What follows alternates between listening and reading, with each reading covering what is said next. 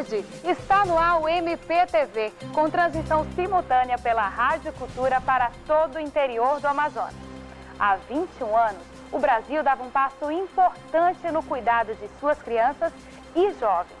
Na verdade, um grande salto de qualidade. De forma pioneira, o país adotou o Estatuto da Criança e do Adolescente um conjunto de normas amparadas na Constituição Federal e nos princípios da Convenção Nacional das Nações Unidas sobre o Direito da Criança e do Adolescente. A partir desse momento, as crianças brasileiras passaram a ter prioridade nas políticas públicas e deixaram de ser objeto para se tornarem sujeitos de direito. O ECA é responsável por uma revolução no tratamento dado aos jovens que cometem atos infracionais. Este é o tema do MPTV de hoje e eu convido você a conhecer o nosso personagem.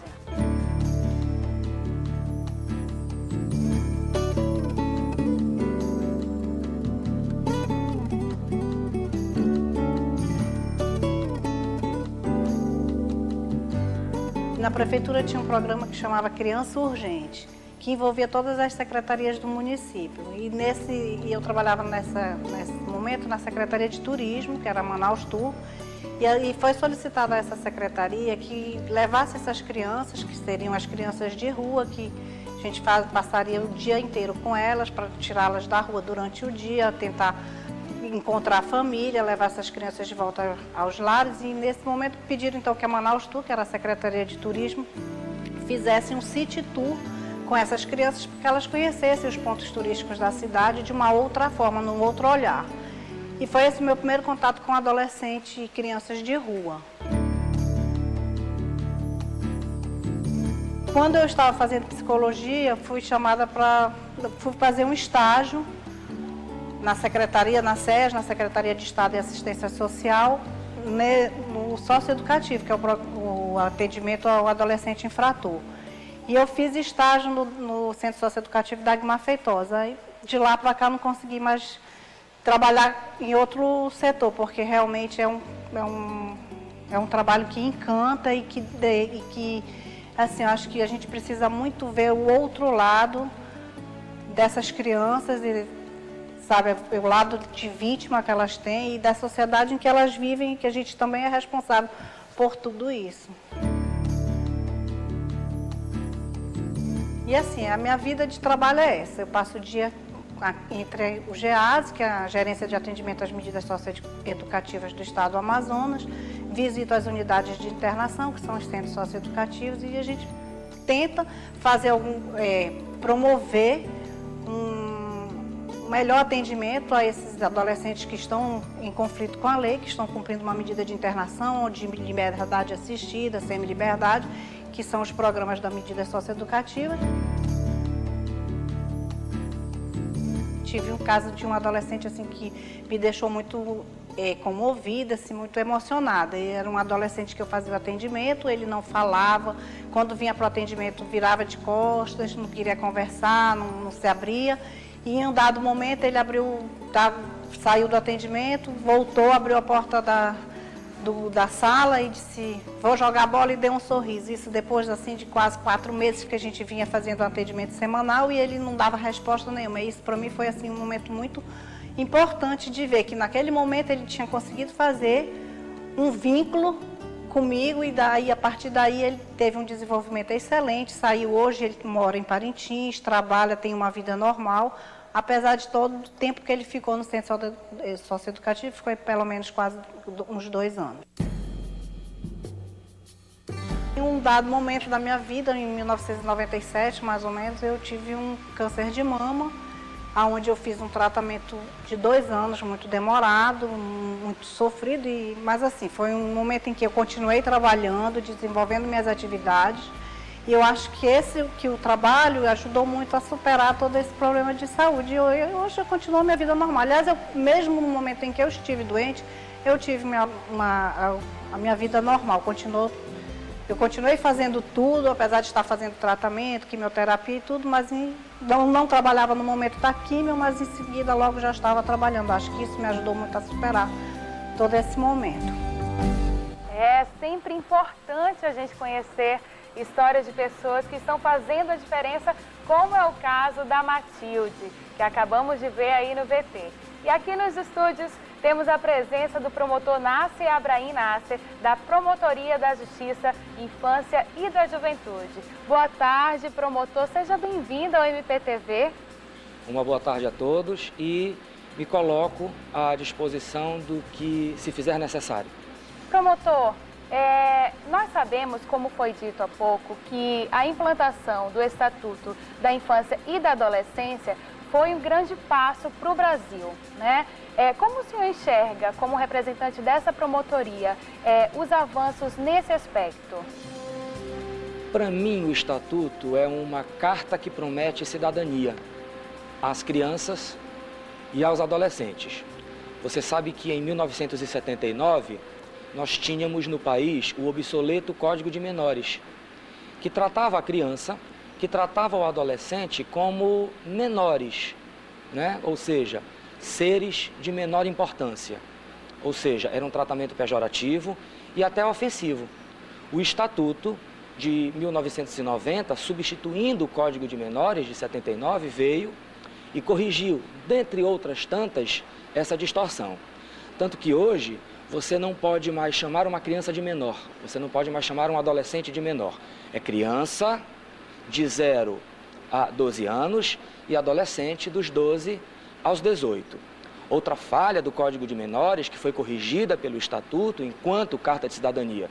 O Código de Menores tratava a conduta da criança, a conduta desviada do adolescente, como uma espécie de ação antissocial. O estatuto fala em ato infracional. Então você veja que a gente teve uma evolução na terminologia, na denominação mesmo. Sim. É, é o seguinte, você aí de casa, você viu que o nosso promotor está aqui para sanar todas as dúvidas e a nossa conversa está só começando. Vamos ao intervalo rapidinho e já já a gente volta.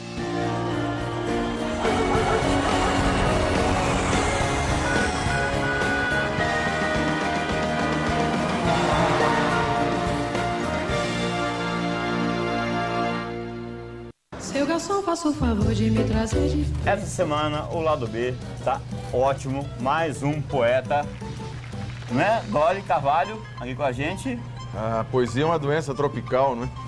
Tá vendo? É, aí, Renato. Sensacional. É, é um programa realmente imperdível.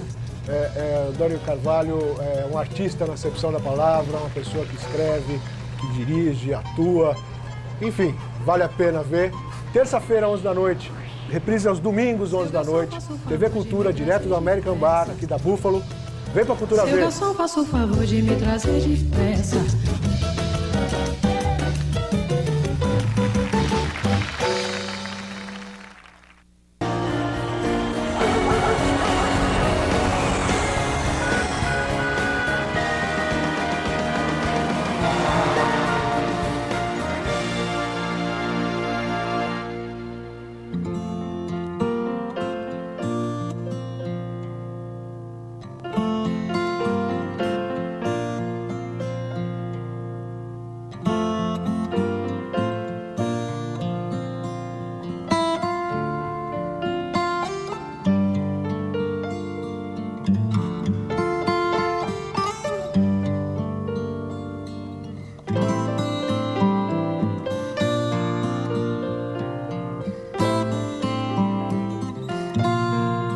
Desde que foi implantado há 21 anos, o Estatuto da Criança e do Adolescente foi um divisor de águas na forma como o Estado e a sociedade tratam suas crianças e jovens. Sem distinção de raça, classe social ou qualquer forma de discriminação, eles passaram a ter prioridade absoluta na formulação de políticas públicas. Essa lei, ela vem resguardar, né? Tanto no ponto de vista da proteção integral aos direitos da criança e do adolescente, como também a mudança no método, no conteúdo e de gestão. O ECA criou mecanismos nas áreas de educação, saúde, trabalho, assistência social e assegurou o direito à convivência familiar e a medidas de proteção. Um deles é o Conselho Tutelar, que atua diretamente nas comunidades para garantir o respeito aos direitos da criança e do adolescente. Hoje nós temos é, condições de dizer que tudo que acontece envolve a criança e o adolescente é, existe a participação direta do Conselho Tutelar e é, da garantia de direitos, que esses direitos sejam implementados, que sejam colocados em prática.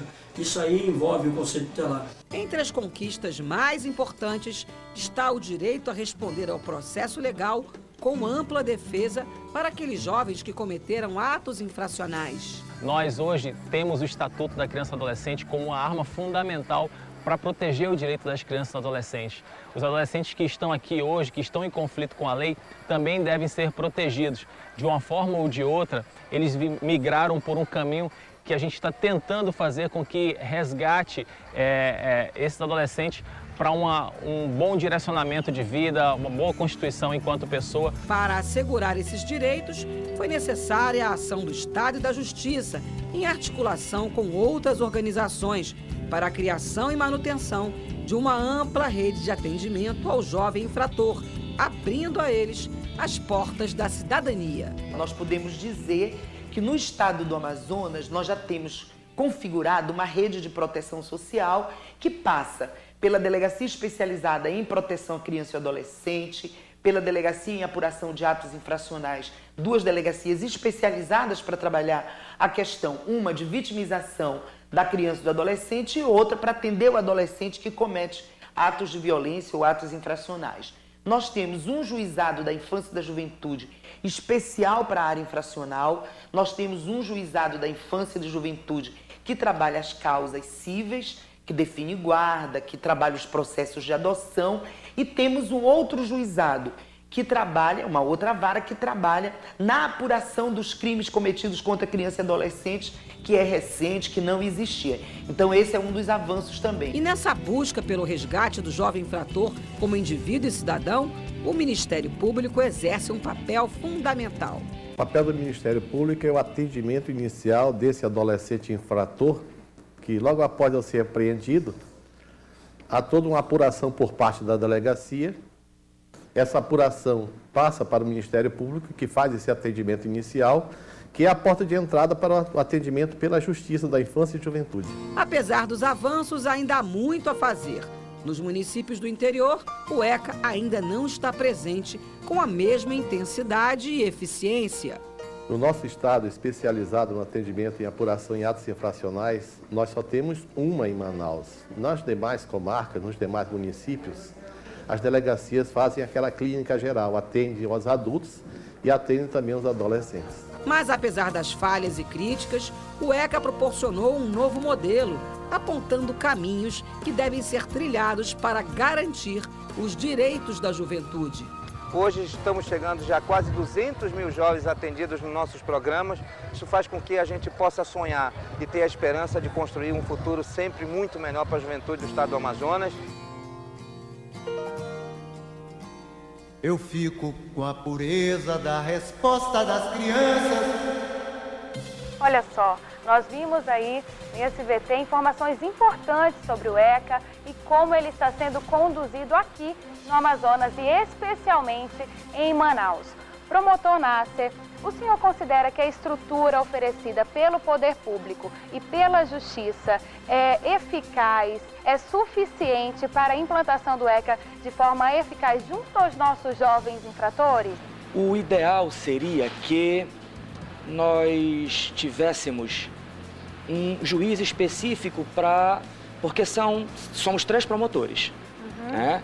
Um que atua na fase policial, digamos assim, porque pelo estatuto, veja bem, o atendimento deve ser imediato. E isso por causa da filosofia de proteção integral. Né? Você veja que com o estatuto, nas políticas públicas como um todo, a criança e o adolescente são objeto de, digamos assim, prioridade absoluta. Então, eles devem ser atendidos prioritariamente.